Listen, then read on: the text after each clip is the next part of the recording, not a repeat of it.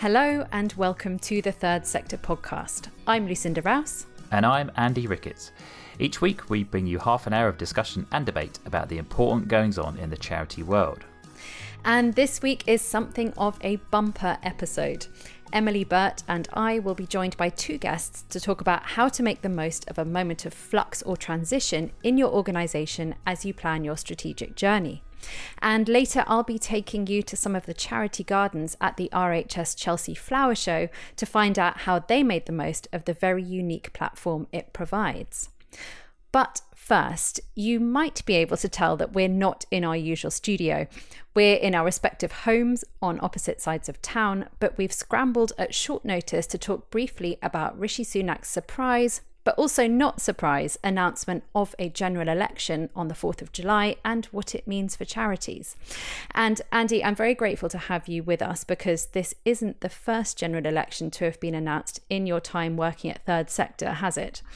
No, um, I hesitate to say how many I think it's been because it's been a few in my long tenure on Third Sector, but it's always an exciting moment when we have a general election looming. So I'm excited about what the next few weeks will hold. Yeah. So, first things first, what has changed overnight for charities? Well, I think the big thing that's changed is really the certainty about an election actually happening. I mean, we knew that one was going to happen, obviously, but we didn't know when it was going to be taking place. Rishi Sunak surprised a lot of individuals by announcing that it was going to take place on the 4th of July. In fact, I think he caught out quite a few people in his own party. So I think the one good thing that it means for charities is that we now know exactly when this is going to happen. So we know there's going to be some kind of time frame for when the next government will start and a bit more certainty about what individual parties are going to be doing. Obviously, we'll be having the manifesto launches shortly, and we'll talk about that in a moment. The other thing that's obviously changing is that we're expecting probably a little bit more focus on what charities do in terms of any activity they do around election issues. Some of them, particularly around the Rwanda bill, for example, are going to be hotly contested subjects. So I think charities are going to have to watch very carefully that they're making sure they pay attention to the rules around political campaigning and working with individual candidates because I think they could find that they have a fair degree of mudslung in their direction if they're not adhering to the rules. And even if they are, individual opponents of particular parties might find that they want to make some political gains by um, causing some mischief. Yeah, absolutely. And there are certain bits of legislation that are governing what charities do, particularly in this period around an election, not least the Lobbying Act. We're not going to go into that now, but it is something that we considered in our podcast documentary, The End of Charity, episode four, looking into issues around charity campaigning, particularly in the run up to an election, um, and the things that charities need to look out for. So, Andy, we had this announcement just this week um, what do you think the next six weeks and then the little bit beyond that are likely to hold for the charity sector? Well, I mean, we mentioned that everybody was caught by surprise. I, I wonder if the Charity Commission and Orlando Fraser weren't exactly caught by surprise because just earlier this week on Monday, um, Orlando Fraser published a blog from the Charity Commission saying what should uh, charities do during a during the run up to a general election, which I thought was kind of interesting timing. Um, I wonder if he had some kind of inside knowledge. In the short term, I mean, obviously, Parliament has to be dissolved, which won't happen until the end of next week as we publish this. And then we'll be expecting to get the manifestos from the individual parties probably towards the middle of June, I would guess. And then we'll start to see what exactly each of the main beasts will be saying around issues that uh, affect charities. I think that obviously we know some of the issues that are going to be big uh, asylum and um, the the boats and the Rwanda bill are going to be huge political hot potatoes, if you like. But I think other things will probably crop up over the course of the next few weeks, and we don't really know what those are going to be exactly. And in a way, individual charities will have to respond to those when they happen. Have there been any initial responses or statements from sector leaders that you've seen? Yeah, I mean, we've seen already some of them talking about the importance of partnership. I mean, I think that's going to be a big issue for sector leaders over the next few weeks. I mean, the way things stand at the moment and the things that the polls would indicate would suggest that we will be seeing a change of government. And I think sector leaders are very much talking about partnership with the next government, however that might look. We obviously saw a few weeks ago, but uh, shortly after the turn of the year, the Labour Party made a big kind of pitch for the sector's attention, if you like, where Sir Keir Starmer stood up and at a uh, pro bono economics meeting and brought a lot of the shadow cabinet with him and talked about how he wants to work with the sector and ask the sector if it would work with a future Labour government, which I think was music to the ears of many sector leaders who feel like they've been sidelined and maybe ignored or even kind of um, stigmatised by the current uh, administration. So it'll be really interesting to see how that pans out, particularly in the early days, should Labour win, because obviously then they're not always going to agree with what the government is doing. They're going to want to say some difficult things some of the time. So the, the proof of that dedication to partnership will be seen as we move uh, further down the line. So we watch this space, and at Third Sector, we will, of course, be providing coverage on the election and the possible and probable implications for the charity sector. We have already produced a number of long reads in recent months in anticipation of an election this year. Emily Harle has written several pieces about how charities can cut through the political noise and connect with politicians ahead of a general election. And Andy, you wrote about how sector leaders responded to Keir Starmer's pitch to civil society back in January. We'll include links to all of these in the show notes to this episode, and of course, there'll be more to come. Thanks, Andy, for hopping onto the mic at such short notice. Your work here is done, and our editor, Emily Burt, is going to join me for the next part of the episode. We recorded it before the election announcement, but it is by no means unrelated. You know what an inflection moment is?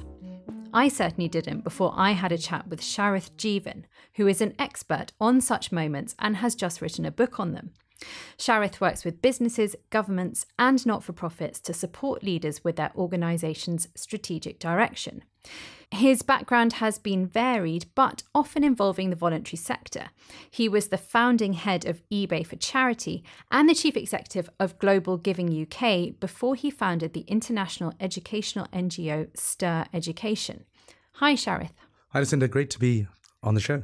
So, first things first, please tell us what we're talking about here. What is an inflection moment? So the way I define it, Lucinda, is to think about that next mountain to climb question often an organization, a charity gets to a point, it's been successful, it's doing well, but there's a question of what comes next. And often it can be about really defining that that next mountain very clearly with the help of its stakeholders in a way that is very fresh, very distinctive, very authentic, but is also very much driven by the motivations of the people leading the organization as well. Okay, so in practical terms, could you give us an example of a point when an organization or a leader of an organization might reach such a moment? So I've been working with the B Corp movement. Um, they're the group that certifies companies for social impact. We've got huge companies like Nespresso who are certified members, for example, in their leadership team. They've been around for about eight years in the UK, and about 3% of GDP in the UK now goes through the movement. It's incredible in that short space of time to reach that milestone. The tempting thing would be to say, let's try and get to 4% or 5% or 6%.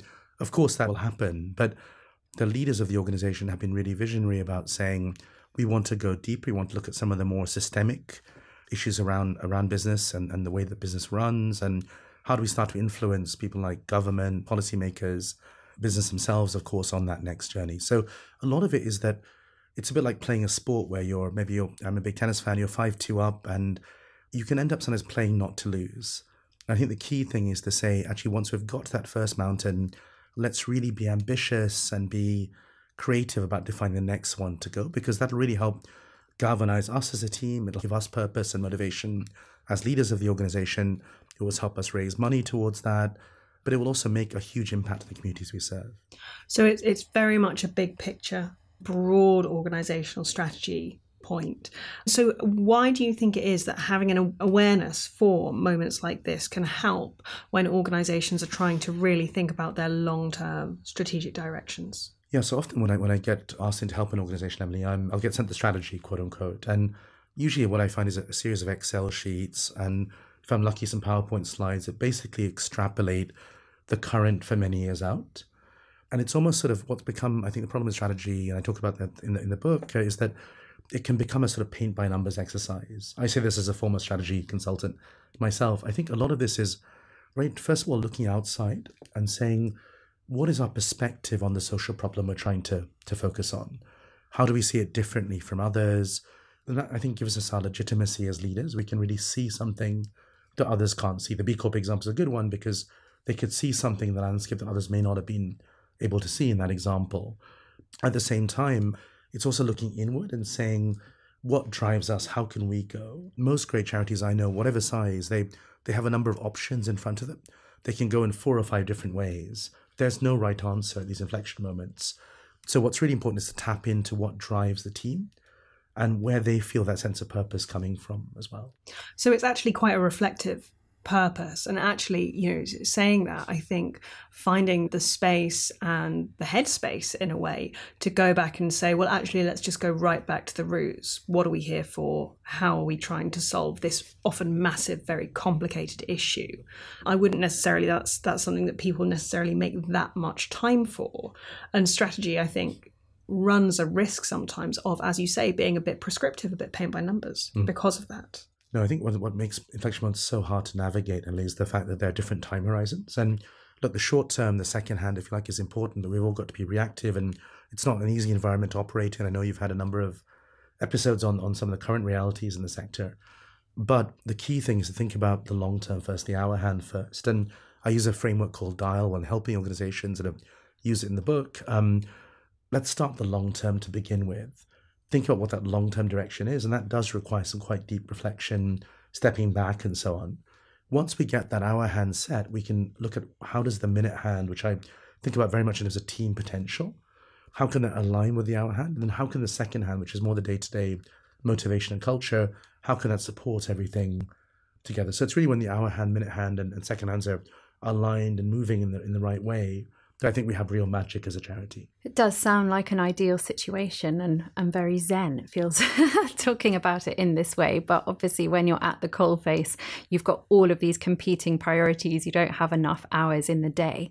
How can leaders make sure that they carve out the time to consider these, well, this inflection moment and the things that go into planning around it? History is littered with examples of, of let's say, companies who have been doing well, have been successful, but really squandered away that opportunity. Look at um, Blockbuster. You know, there was a Blockbuster about 20 years ago. There was a Blockbuster next to us. I paid probably more in in fines than I did for the actual rentals themselves. and it, even 20 years, you could tell that the price of broadband was gonna was gonna plummet over time. Blockbuster had a chance to to be Netflix. You know, before Netflix was there, I think it had the chance to buy Netflix twice and chose not to because it was so captured by its own current model. It was very profitable and so I think what I would just be really, really careful about is any kind of complacency bias where because the world is steady as it is, it may not be steady even six months from now.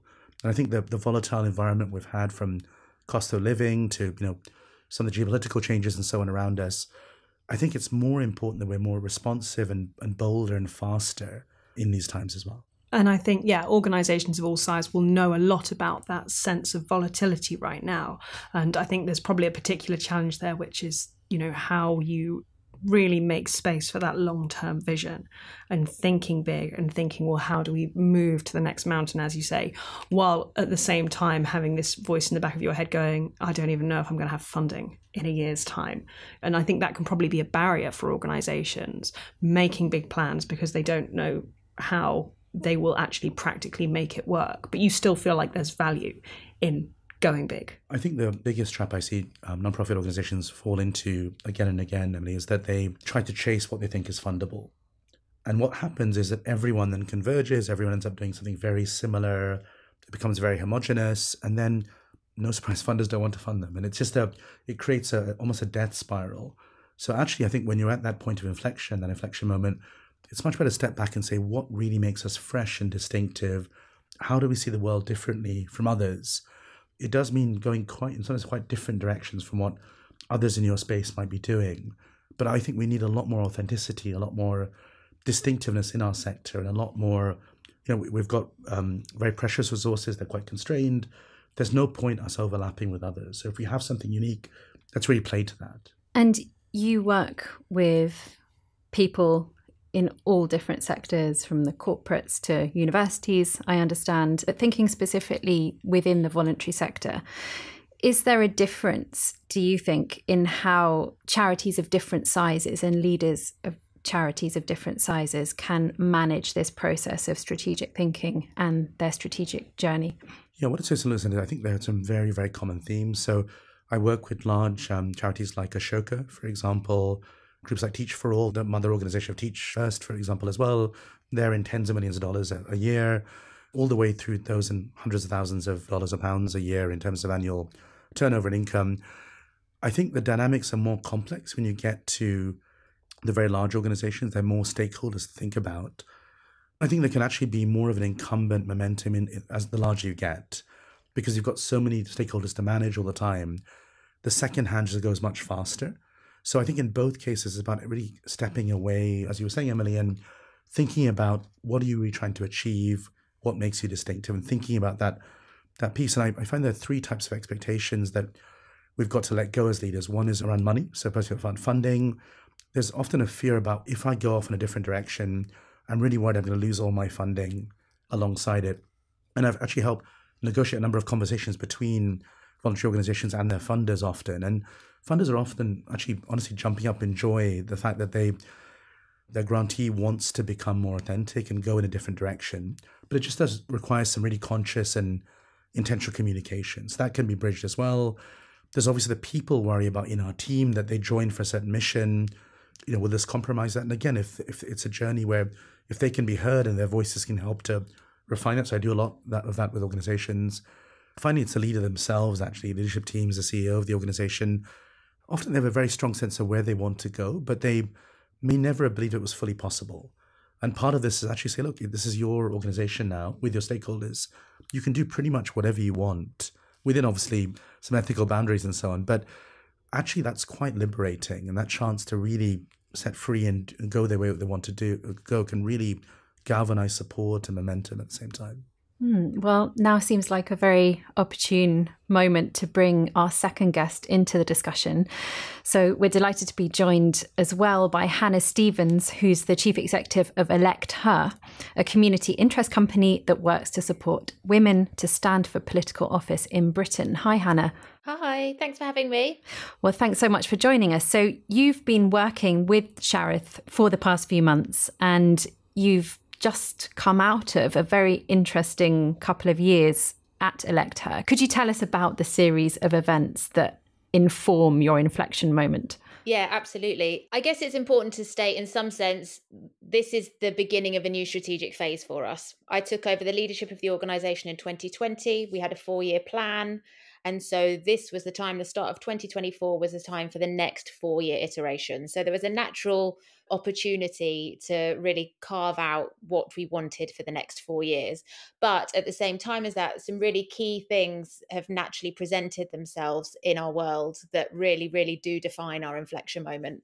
I think there's several points there. One of which is that the world turned to Zoom in 2020, four years ago, and we were ready and waiting. We'd already set up a lot of our work on Zoom. We just didn't have a huge audience. And a lot of women were really galvanized what was happening during the pandemic and turned to us. So we saw a real growth in the number of participants and women interested in engaging in our work four years ago. And now, four years on, a lot of those women are now getting elected. It's a three, four year cycle. Some people, it happens incredibly quickly, and those stories are so fun. But generally, to get yourself embedded in a political party, to navigate, to understand how it works, to prepare yourself as a candidate, and then to get selected and elected is about a three or four year journey. So last May, we saw a fantastic group of women from our community elected. And we've just seen the same again last week. So there is this moment where we've seen the full cycle of women's participation for our work, which really enables this reflective time. Which bits of that worked? What do we want to do more of? Which bits do we want to turn away from? So I think that's one key reason why this is a moment for us. We've got the opportunity to build on that learning then alongside that 2024 is a massive election year globally. Like more voters than ever in the history will be going to the polls this year. About 49% of the world's population. So actually democracy is in people's minds at the moment. And in the UK we've got loads of elections. 2600 councillors were elected last week directly elected mayors police and crime commissioners London assembly and this inevitable general election when it's ever it's going to come.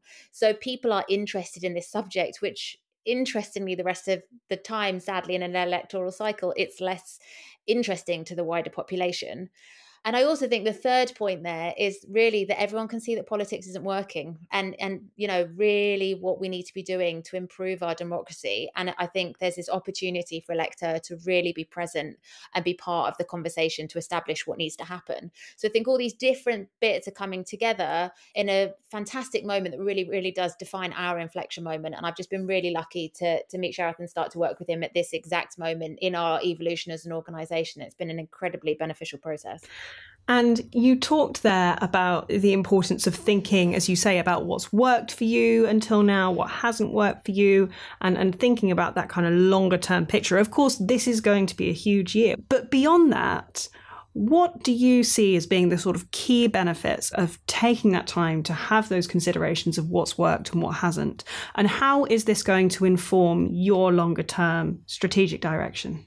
I think what we're lucky to have as an organization is this kind of ongoing feedback loop. And I don't think I totally appreciated that that was how we designed our work. But I realize there's new language that I would commit to now that we are now the experts in the lived experience of women engaging in democracy and politics.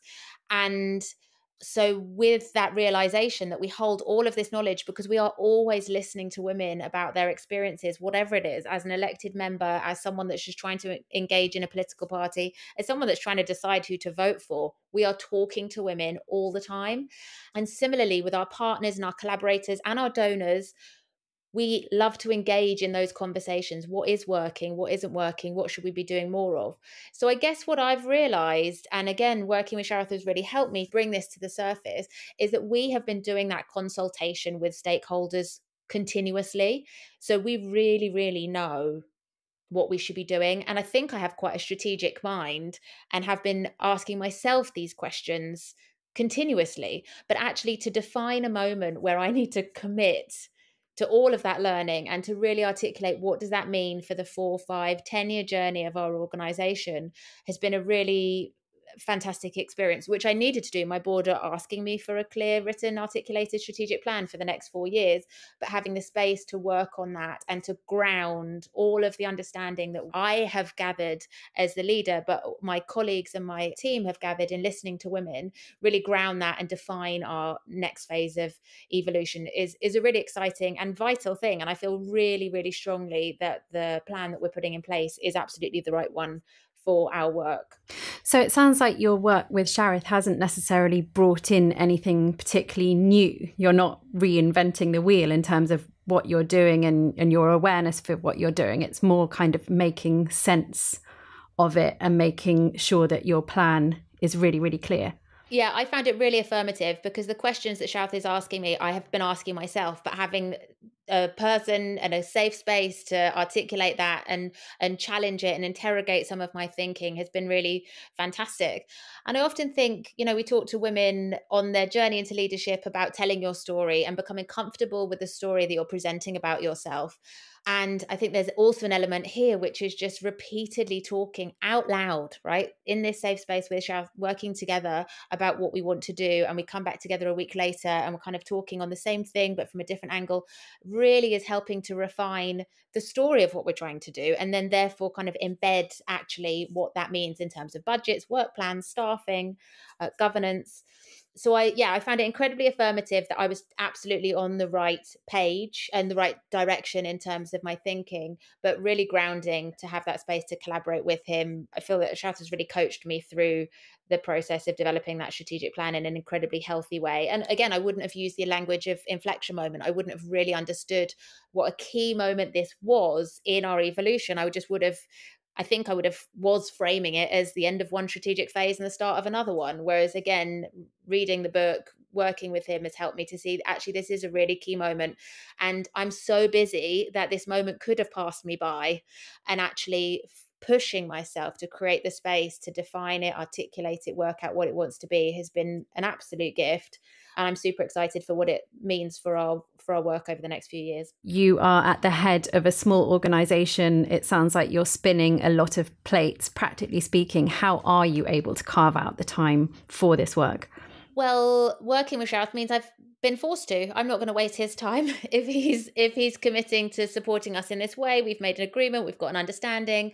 This has become a project, I guess, for me in a way that other things might be. There's a sense of accountability in working together that we've designed this series of workshops, these conversations weekly, bi-weekly and Sharath gives me small bits of homework that I have to do. And again, had I been left to my own devices, I would have procrastinated. And then next week, I would have quickly written a pretty cool paper about everything I've learned over the past four years. And I would have submitted it, and it would have been good, and it would have carried us forward, and it would have had, you know, let's say 45% let's say i'm plucking that out a little bit it would have had 45% of the content but actually going through this really reflective process retelling the story interrogating which bits of this make us unique and how we want to really push ourselves you know i've been coached through the process and i've been held to account and that's led to a much richer uh, experience and much richer document to submit in the end and ultimately, I wouldn't have prioritized the time in my own calendar to do that weekly base touch, that weekly bit of drafting, that weekly bit of reflection. I, I, wouldn't have prioritized that had I not had another human being and a lovely man that Sharath is holding me to account on that in a in a supportive and, and comfortable way. So th- I think there is something really interesting about leaders, particularly leaders of small organization who are doing all the stuff to really how do you create the space to embed yourself in the strategic moment and and and really repeatedly revisit what you're trying to do? So you're really there for that accountability piece are you sharath I, I, would love to hear about your perspective. I mean mm. what have you mm. seen that you've found really interesting and valuable about Elect Her's process and and how hannah has been working? I think hannah's an amazing leader so that was very clear when i first was introduced through a, a, a funder actually. And also, I think it back to what she said about those sort of internal external um, triggers around her, in, given the political cycle and what's going on. I often think about it in terms of sort of starships and asteroids. There was a starship, the internal change around Hannah taking the, the reins of the organization over during the pandemic and so on, and then all the external change going on, the election cycle happening at the same time. And I think in terms of that direction, there's a really exciting chance for Elect Her to really make a a very mainstream difference on how parties are actually structured and their culture through the prism of the amazing leaders they uh, are able to nurture and support and develop all the way through their careers. So it just felt I'm always um, um, I love working with leaders who have an incredibly outsized impact. It's a small organization financially. Hopefully, it'll be it'll be um, bigger in the in the years to come. I'm sure, but incredible impact for, for for that as well. And so that ability to really harness that direction, go for it um, yeah, so it's been a, a, lot of fun working together. Some definitely some tensions at times. I think I know we'd probably say that things with, you know, all in a, in a healthy, respectful way. Just said, do we really uh, agree with this? And often my role can be to be that critical friend and say, this doesn't quite, this feels a bit too convenient. Are we, are we really getting to the core of this? Is this really what you want to do? Um, but is that sort of constant tussle as a process? And it, it can be uncomfortable at times as well. That's part of the the fun of it as well sometimes. More going outside of kind of the the everyday, like ultimately that should be uncomfortable, shouldn't it? It should, and I think I think what happens actually is strange. I think for leaders in the sector, and I, I you know, in fact, having been a CEO myself for 15 years in the sector, is that we're sort of almost trained to have smaller and smaller ambitions over time, not bigger and bigger ones. It's just interesting how the dynamics of funding and constant um, stress about you know keeping our organizations alive and financially healthy, it means we tend to rein ourselves in. And I think the good news is actually if we can actually open ourselves out a bit and think about what's possible. I didn't quite do it with Hannah, but often a question I ask partners think about imagine you had an Aunt Meg who sadly passed away and she gave you 100 million in her legacy. what would you do if that happened? If you never had to fundraise again? And that's obviously, you know, very few of us have that Aunt Meg, unfortunately and unfortunately. But given that that situation, that often frees the mind up to say, what what would the ideal thing look like? And then it's, it's work backwards from where we are now to see how could we get as close to that as possible. So beyond hiring you and your services. of course, yes, yes of course. And uh, reading reading your book, um, which is called Inflection: A Roadmap for Leaders at a Crossroads. What tips do you have for anybody listening to this who feels like they might be at a juncture? How can they make the most of their inflection moment? Yeah, so I think the first thing I'd say, Lucinda, is to recognize the moment for what it is. I think there's a real tendency in the sector to, I felt it myself as a leader, to be constantly busy, to feel like we never have time to really step out and have some air. I think that can be fatal at inflection moments. So think about is there an asteroid out there? Is there something big in the external environment? It could be a regulation change, it could be how funders are evolving, it could be how the theme of your sector is shifting. Look out for that asteroid. Are there any starship changes? Are there any changes in the team, governance, you as a leader, anything significant going on on that side? If one or both of those things are happening, you're almost certainly at an inflection moment. And think about that point about maybe you've got that first mountain. What's that second mountain look like? So, first, I just recognize that not all time is created equal. Really give yourself license to focus on this and take it seriously. The second thing I think is if you do feel you're at that moment, think about direction first. Think, go back to the problem that you first wanted to go and sort of help solve. What was it about the problem that really attracted you? How has your understanding of the problem evolved over time? And how could you channel that new understanding to really be distinctive and different in the way that Hannah is doing very much in the world of politics, for example? And then try to write that perspective down. Think about the direction your organization could take building on that perspective. And there's some tools in the book that can help practically with that. The third thing I'd say is then once you know that direction and you know you're in an inflection moment, make sure you align your whole organization against it. So think about the every member of the team. How can their full potential really be harnessed against that? And I, I talk in the book about these ideas of authenticity, connection, excellence. These are three things that we can often think about in terms of unleashing potential. How can we make sure that really is as closely aligned as possible to where you want to go as an organization there? So, if, for example, um, Hannah's going to be doing a lot more work around system change and so on, the team um, focus and, and culture will need to move more towards that. Just take a practical example. And then finally, just think about what will keep you and the team motivated and learning as you go on the journey. There will be bumps in the road. How do you make it really enjoyable for yourself? Make each day feel like you're making incremental progress and, and keep celebrating and, and, and marking success as you go on that, that journey of inflection as well. Some really useful pointers there. Sharath and Hannah, it's been great to have you both on. Thank you so much for joining us. Thank you. Thank you both. Thanks. We're off to the RHS Chelsea Flower Show to take a look around three of the 15 charity gardens funded by the grantmaker Project Giving Back. You might be able to hear from the recordings that the day got progressively more rainy. But it was still dry when I sat in the Terrence Higgins Trust garden with Richard Angell, the charity's chief executive. Richard describes how their garden is an artistic expression of the change in messaging around an HIV diagnosis, from the tombstone advert of the 1980s when the disease was considered to be a death sentence to the current reality and hope of an end to new cases by 2030.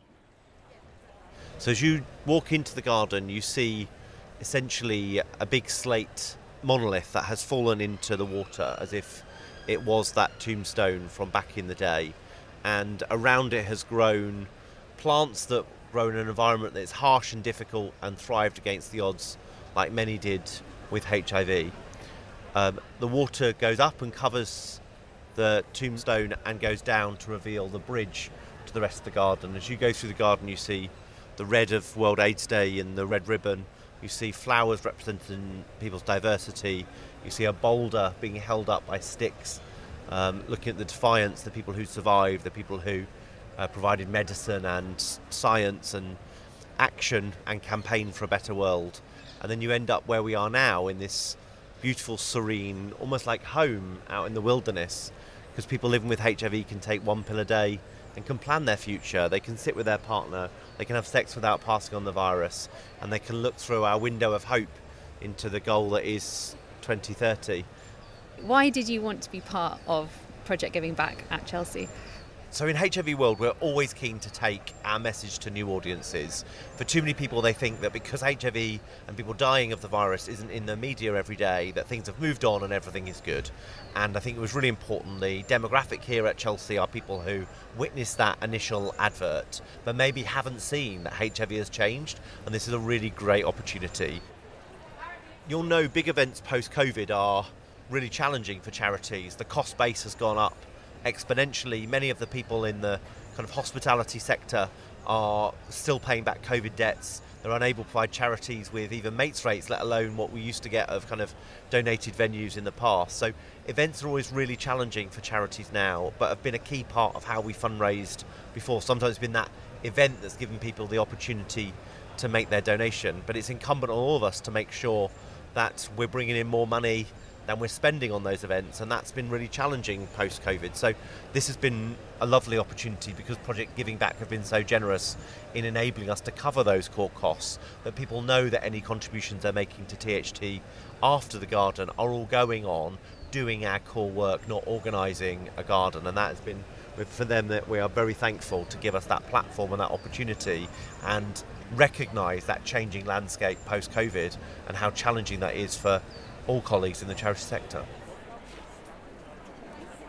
Good morning. I'm Hattie Ghaui. I'm the CEO of Project Giving Back. Project Giving Back is a grant making organisation. We're a charity in our own right, and we are set up with the sole purpose of funding gardens for good causes at the RHS Chelsea Flower Show. This is your third year, so looking back at the two previous years, what have been like real successes in terms of what the charities themselves have got out of being at Chelsea? Yeah, it's been it's really interesting because when people apply to us, they apply with different objectives. So it might be fundraising, it might be about media awareness, it might be about getting new celebrity ambassadors. So we like outline that with them of like what do you want to get out of it i think for me first year was such a success from the rnli perspective they raised over 800000 pounds in one night but then last year, smaller charities like Horatio's Garden won Best in Show, and they were sort of catapulted onto a national stage with that, and it's been massively impactful for them. The thing that I feel really strongly about what we're doing is we are giving charities an opportunity to do something they'd never be able to do themselves. And I sometimes think that actually philanthropists or corporate sponsors should have a think about why don't you have an open conversation with a charity and say, you know, if you could do anything, if you had Nike's budget to market yourselves, what would you do? And perhaps fund that for them, like gift them that opportunity and see what that charity would do with it. Because I think charities are given such a hard time in the media about how they spend their money and where it goes and so they're nervous. Like they're not going to risk funding a marketing event or going to a show like this that mm. might be a huge payoff. And actually, if you're a supporter of a charity, maybe you could unlock that for them.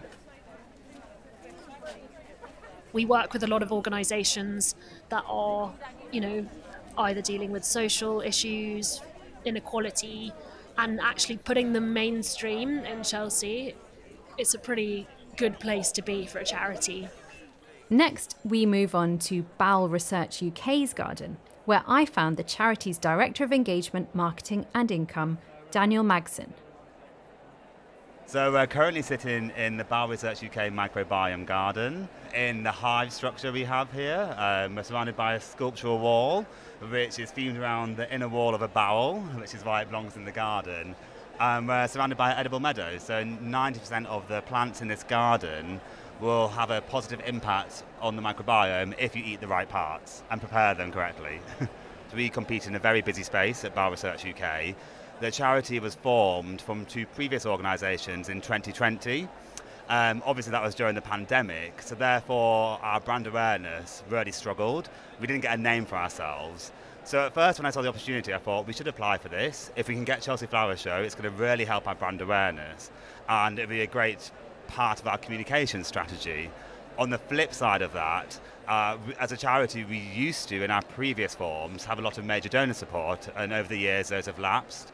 And looking at the audience of Chelsea Flower Show, I thought it would be a really good opportunity to engage new prospects and try and re-engage some of our lapsed donors by inviting them to the events here as well. And thinking about how you might approach events going forward, have you learned anything which is going to inform how you plan for and execute your involvement at events? One of the key lessons we learned was really building synergy between our com side and fundraising. We made sure that the teams were always working together on this. We were part of one team, we had crossover, so our PR support was really feeding into our fundraising strategies in Chelsea, but leading up to that as well. We just had London Marathon that got a lot of press. Um, so we've just made sure that whatever we're doing, fundraising and comms are always speaking together, supporting each other. So it meant that when we got to Chelsea, it could easily be, oh, let's all focus on donations, or let's just focus on the celebrities and the brand awareness we get. But actually, we've managed to focus on both because we're all working together, we understand our objectives, uh, and they're shared objectives. I'm Ula Maria, the garden designer of the Muscular Dystrophy UK Forest Bathing Garden. It's designed for the muscular dystrophy UK community, and the key idea was to showcase how high quality outdoor spaces outside of the clinical, sterile environments can help people when they are going through really difficult times of their lives. And also, it's inspired by the Japanese practice of forest bathing, which means being in the forest, absorbing its atmosphere, and really sort of taking it in through the senses. And in return, it gives us many mental and physical health benefits. So I was just sitting down to have a chat with Debbie from Muscular Dystrophy um, about the great success that they have made of this opportunity. Only to be ushered off the garden to make way for Monty Don, I know my place, um, because there's a very exciting announcement about to be made.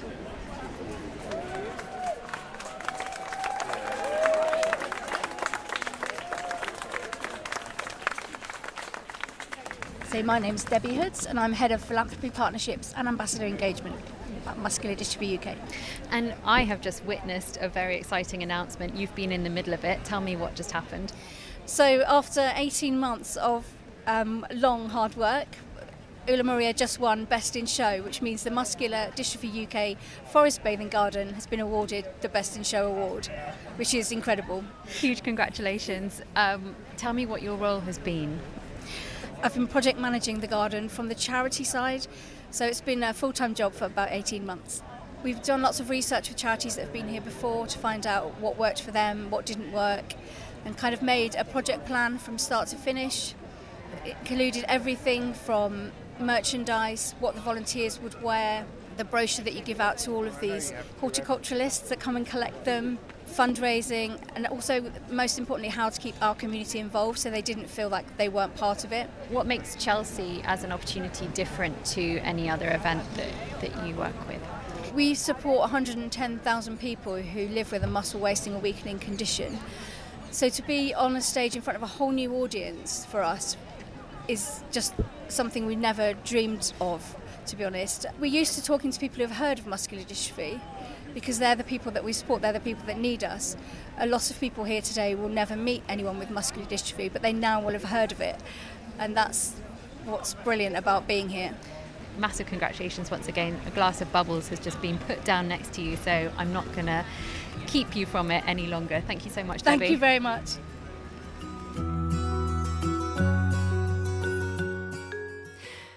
I hope you enjoyed our walk around the RHS Chelsea Flower Show. And that's it for this week. Next week, we'll be marking Volunteers Week with guests joining us from Scotland and Northern Ireland. But for now, thanks to our guests and our producer, Nav Powell.